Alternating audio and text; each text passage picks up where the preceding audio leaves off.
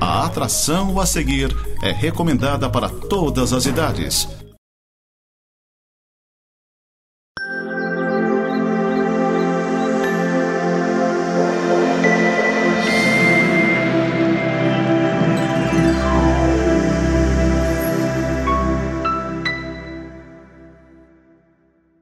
Olá, seja bem-vindo ao programa Semeando para a Vida Eterna. Este é um programa da Igreja Presbiteriana de Lages.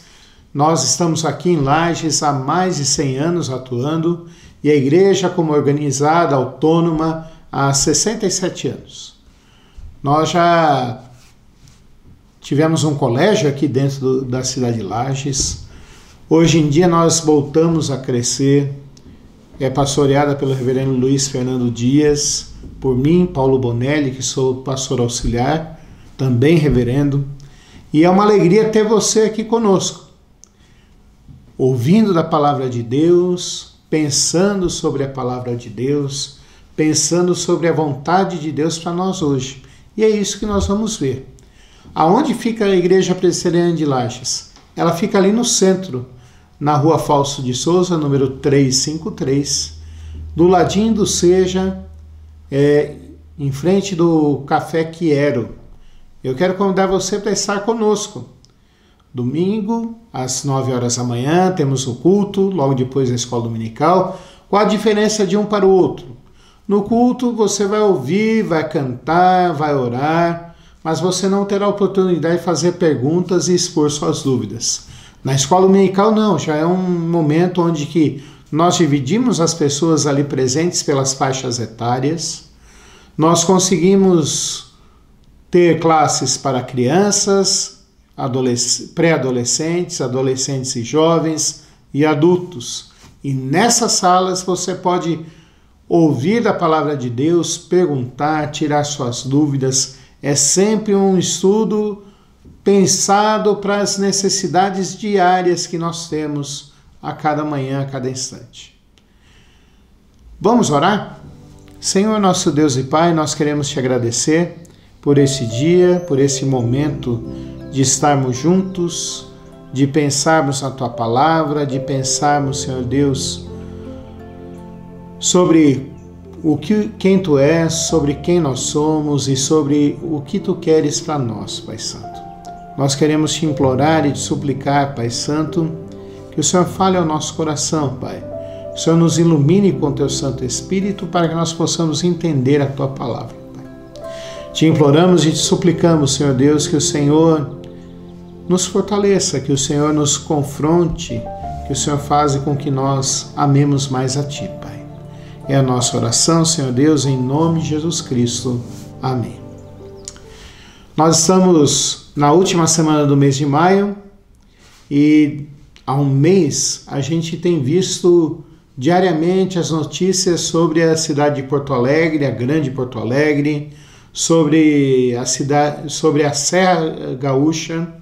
Temos visto sobre a, a região ali de Santa Maria, de Pelotas, mostrando como que elas estão atingidas e como elas estão sendo castigadas pela chuva. Muita gente falando muita besteira, dizendo que isso é castigo de Deus. Muita gente falando que não sabe. E quando eu ouço essas pessoas falando essas coisas, eu me lembro de um milagre que Jesus Cristo fez, que está registrado no Evangelho de João, e João registra poucos milagres. Se você for comparar com Mateus, com Marcos, com Lucas, os milagres que foram registrados por João foram pouquíssimos.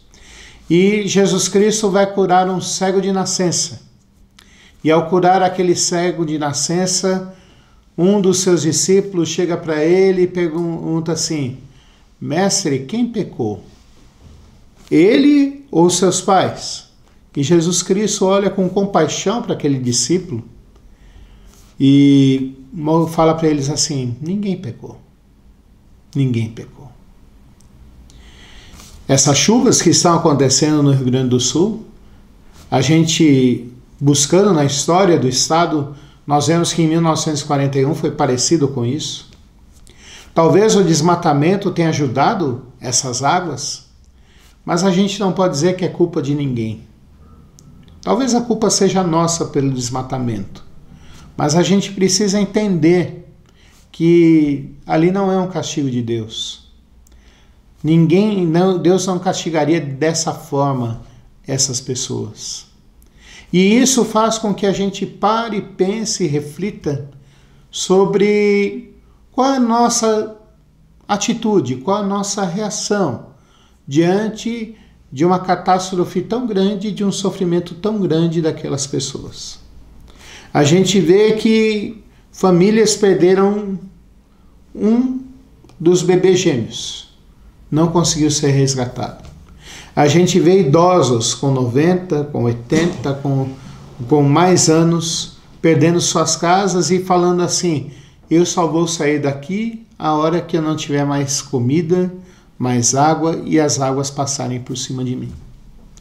A gente vê as indústrias todas embarreadas, muitas delas sem poder ser restauradas e vão precisar ser reconstruídas totalmente ali. A gente vê a ideia dos prefeitos, os governantes, de mudarem bairros inteiros e talvez cidades inteiras de lugar para lugares mais altos. E qual a nossa reação diante disso? Qual a minha reação como cristão? Como uma pessoa que crê que é filho de Deus? Como uma pessoa que crê que recebeu do amor de Deus? Qual a minha reação diante de tudo isso? O que eu devo fazer? A palavra de Deus fala sobre isso. Fala para mim e para você. E eu queria ler o primeiro texto bíblico dessa meditação de hoje. Fala assim em Romanos 12, versículo 15: Alegrai-vos com, os que, com os que se alegram e chorai com os que choram. Alegrai-vos com os que se alegram e chorai com os que choram. O momento do Rio Grande não é um momento de alegria, eles têm sido consolados e nós vamos ver isso mais para frente. Mas esse é um momento de chorar. Esse é um momento de chorar com eles. Não é um momento de acusar, não é um momento de escarnecer, não é um momento de endurecer o nosso coração. Agora é o momento de nós ficarmos tristes com eles, chorarmos com eles, de nós entendermos que esse momento é um momento de rompimento da vida deles, de destruição. Esse é o momento onde que a gente deve chorar com eles mesmo. Tu entrar na tu, tu ver a tua casa com mais de 20 há mais de 20 dias alagada, entrar lá e ver que o que não foi destruído pode ter sido roubado. Isso é o momento de nós chorarmos com eles de nós nos entristecermos e pedirmos para que Deus tenha misericórdia. Que Ele refreie o mal das pessoas e que as águas comecem a baixar. Esse é o momento de nós nos entristecermos com eles. Jesus Cristo, quando viu o sofrimento de Marta e Maria, porque seu irmão Lázaro tinha morrido, ele não deu risada ele não escarneceu, ele não julgou. Diz a Bíblia que Jesus chorou. Nós devemos chorar. Chorar e imitar como Jesus Cristo fez. Chorarmos como Jesus fez. Jesus chorou diante da destruição de uma pessoa. E nós também devemos chorar diante dessa situação que está sendo que está acontecendo. Mas essa situação, meu amigo, minha amiga, meu irmão, minha irmã que está vendo esse programa, essa situação do Rio Grande não vai durar apenas esse um mês. Como eu falei, eles vão precisar mudar cidades, bairros. As empresas, a previsão é que demorem mais dois, três meses para voltarem a funcionar. Imagine você, como que você, sendo o dono dessa empresa, como que você vai pagar o salário para os funcionários dois, três meses sem produzir? Como que você vai recuperar os clientes para vender os seus produtos, sendo que diante da necessidade muitos já estão pegando produtos de outros lugares? Como fazer isso? Certamente o Rio Grande vai precisar da nossa ajuda por mais tempo. Não vai ser simplesmente um momento. Não vai ser simplesmente uma questão. Mas vai ser durante esse ano de 2024, com certeza nós vamos precisar ajudar aquele, aquelas pessoas. Vamos precisar ajudar com mantimentos, vamos precisar ajudar com materiais de higiene, vamos precisar ajudar com oração. E daí vem a pergunta: mas eu já ajudei, pastor. Eu também já ajudei. Eu senti profundamente tocado no meu coração e mandei o que eu tinha lá em casa como ajuda para eles. Mas esse é um momento para a gente pensar não só no agora, não só nesse momento, não só nesse instante, porque a ajuda vai precisar ser por mais tempo. Nós precisamos agora entender que nós precisamos apoiá-los. E eu queria ler o segundo texto de hoje, que está lá em Lucas capítulo 3, Evangelho de Lucas capítulo 3, versículos 10 e 11, que vai dizer assim para a gente. Lucas capítulo 3, versículos 10 e 11. Então as multidões interrogavam, dizendo: Que havemos, pois, de fazer? Respondeu-lhes Jesus: Quem tiver duas túnicas, reparta com quem não tem, e quem tiver comida, faça o mesmo. Esse é o momento de nós repartirmos aquilo que nós temos. As notícias chegam de todos os lugares dizendo que, graças a Deus, a questão de roupa eles estão supridos. Até cobertores, mesmo com o frio que está chegando, nós estamos começando a pegar essa frente fria. Essa semana vai ser uma, é, será uma semana bem fria aqui em Lages e região. Eles já estão experimentando, mas segundo informações que nós temos, roupas eles estão bem supridos. Mas eles vão precisar de muito mais do que roupas. Eles vão precisar também de comida durante dois, três meses. Se eu falei agora há pouco que os empresários não terão como manter essas pessoas, ou pagar dignamente essas pessoas, e essas pessoas vão ter que comprar materiais de construção para reconstruir suas casas, vão ter que comprar móveis para reconstruir suas casas vão ter que comprar outras coisas, remédios.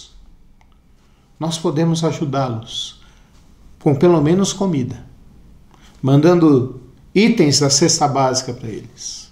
Podemos ajudá-los também com material de higiene para eles, pois eles vão precisar de monte.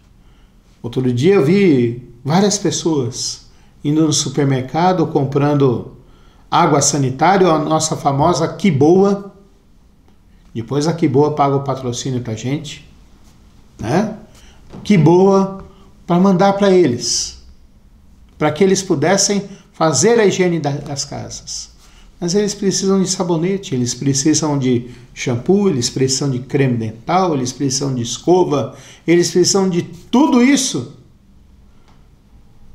Porque quando a gente vai comprar essas coisas, o máximo que a gente lembra na hora da necessidade vai ser o sabonete mas eles precisam de mais coisas.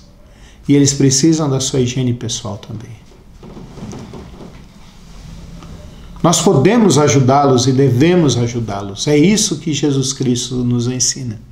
Jesus não nos ensina uma, uma posição crítica de julgadores, mas pelo contrário, ele nos ensina a amarmos e termos compaixão.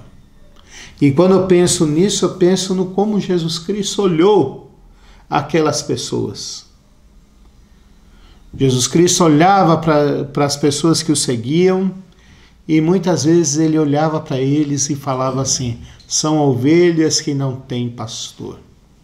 Qual a função do pastor de ovelhas? Do pastor de ovinos?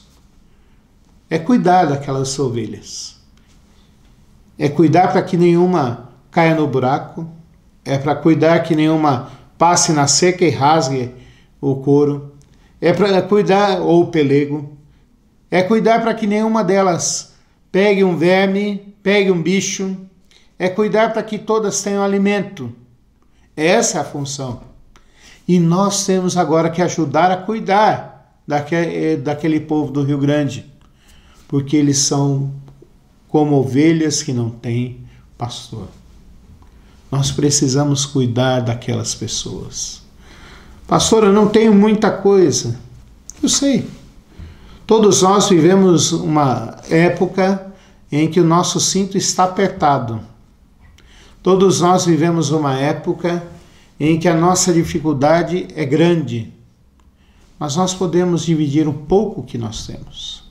Jesus Cristo não falou assim: você que tem dez túnicas, dez roupas, dê oito e fique com duas. Ele fala assim: você que tem duas, dê uma. A gente pode dar um pouco de farinha de trigo, a gente pode dar um pouco de arroz, a gente pode dar um pouco de feijão e nós ajudarmos aquelas pessoas. Mas também eles precisam de ajuda e carinho emocional. E aí eu quero dividir com você algumas experiências que eu tenho visto nas redes sociais e na TV. Em especial, eu quero dividir com você uma experiência que eu vi das igrejas presbiterianas ajudando lá no Rio Grande do Sul. Talvez o estado que tenha menos igrejas presbiterianas no Brasil seja o Rio Grande do Sul. Por um acordo que os, os primeiros missionários fizeram com, com os missionários luteranos, ficou dividido lá em 1860 que os presbiterianos iriam evangelizar do Paraná para cima e os luteranos de Santa Catarina até o Rio Grande do Sul. E lá no Rio Grande do Sul nós temos 15 igrejas, 20 igrejas até hoje. E uma das igrejas, a Igreja Presbiteriana de Canoas, que foi uma das cidades mais atingidas, tem sido um, dos polos para o Rio Grande do Sul para receber doações de todos os presbiterianos ali naquela, naquela região. E o que acontece? Na quinta-feira passada, a igreja colocou com uma menina bem extrovertida, gravando o que eles têm recebido de doações para bebês, crianças, mas eles têm recebido muito também brinquedos, doces e têm recebido muito afeto. Têm recebido muitas cartinhas escritas por crianças, por adultos, falando que as pessoas estão preocupadas com eles e estão amando eles, orando por eles e vão doar para eles. Gente, você que está me ouvindo hoje aqui, nós não precisamos simplesmente de comida ou bebida, nós também precisamos de afeto e de cuidado. Porque o pastor não cuida só, o pastor da ovelha não cuida só disso, mas é, a ovelha aprende a confiar e amar aquele pastor. Nós precisamos dar amor e carinho para eles também, com palavras. Não só com gestos, mas palavras, porque falar também é importante. É lindo ver a nossa cidade, mesmo na crise que vive, indo lá para Mussum e cuidando um pouco daquela da infraestrutura daquela cidade. Mas nós precisamos também demonstrar através das nossas palavras o carinho com eles. Nós precisamos dar carinho para eles porque eles precisam disso agora. O que eu quero que você leve desse hoje para o seu coração. Eu quero primeiro que você não julgue as pessoas. Porque nós somos rápidos nos nossos julgamentos. A gente ama chegar e falar assim: ah, está aí porque provocou aquela situação. Pode ser até verdade, mas aquele não é o momento para falar isso. Aquele é o momento para nós nos entristecermos e chorarmos juntos. Temos compaixão, empatia. Empatia nada mais é do que você se colocar no lugar do outro e sentir a dor do outro. Jesus Cristo falou lá em João capítulo 15: Um novo mandamento vos dou, que vos ameis uns aos outros, assim como eu vos amei. Jesus Cristo deu sua vida por nós. Ele nos amou até o fim. E a gente precisa amar ao próximo. Segunda lição que eu vejo aqui, que eu entendo, é que esse é o momento de nós chorarmos, entristecemos mesmo. Esse é o momento de nós ficarmos tristes por toda aquela situação que está sendo passada. Não é o momento da gente fazer outra coisa. E esse é um momento que me lembra lá o que Jeremias falou lá em Lamentações, capítulo 3. Quero trazer à memória o que pode me dar esperança. Se a, se a destruição foi enorme, e foi, nós podemos ter a certeza de que Deus tem poder maior para restaurar e refazer tudo aquilo. Então, esse é o momento de nós nos entristecermos e colocarmos eles diante de Deus e pedirmos misericórdia para lá. O mesmo texto de, de Lamentações, capítulo 3, fala assim: Coloca a tua boca no pó, talvez ainda haja esperança. É o momento de nós suplicarmos a Deus para Deus restaurar aquele povo. Terceira lição que eu tiro desse texto para a minha vida e para a sua vida é que eu e você precisamos ajudar aquelas pessoas. Ajudar com aquilo que eu tenho. Pastor, eu não tenho muito dinheiro, eu tenho dinheiro para comprar dois quilos de arroz. Vá lá e doe dois quilos de arroz. Vai fazer diferença na vida de alguém. Se cada um de nós doar um pouquinho daquilo que tem, já vai fazer diferença na vida deles ali. Não precisa ser uma coisa volumosa que todo mundo fique sabendo. Não precisa ser a, você como um artista, como uma pessoa que tem condições gigantes monetárias e doar tanto que todo mundo fique sabendo. Mas você precisa fazer alguma coisinha. Terceiro, que eu quero que quarta lição que eu tiro aqui desse texto é que nós precisamos também falar isso para eles e dar carinho para eles também através das nossas palavras. Pastor, eu não sei nem para quem enviar. Então, quando tu colocar lá um saquinho, a tua doação de roupa, de roupa não, de alimento e de outras coisas que eles estão precisando, e veja a lista que eles estão precisando, Coloque uma cartinha ali, dizendo que você ficou triste com, com a situação deles, que você, que você tem orado por eles, diga que Deus os ama e que eles vão conseguir se restaurar tudo. Você vai ver só como que fará diferença na vida das pessoas. Tem uma última lição. E essa é importante também. Nós não devemos tratar só os irmãos do Rio Grande do Sul assim, só os gaúchos assim.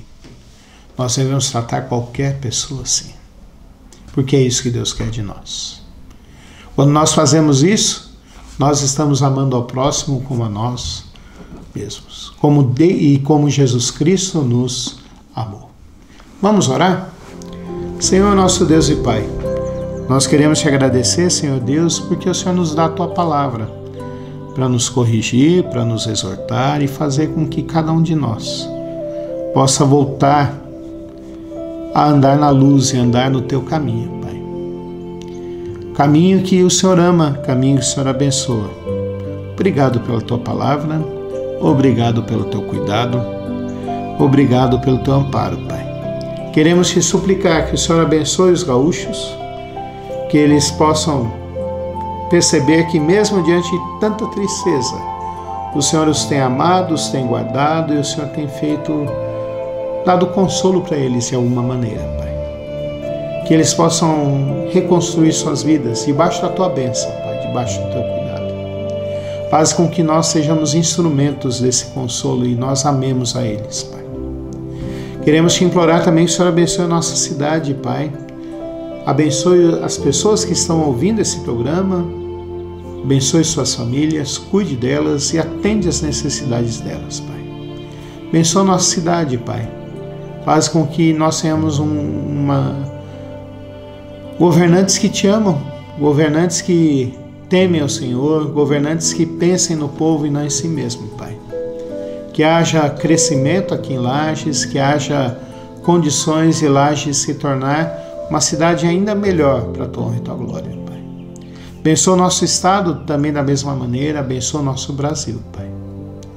É a nossa oração em nome de Jesus Cristo. Amém. Eu quero convidar você para estar conosco lá na Igreja Presbiteriana de Lages, Rua Falso e Souza, número 353.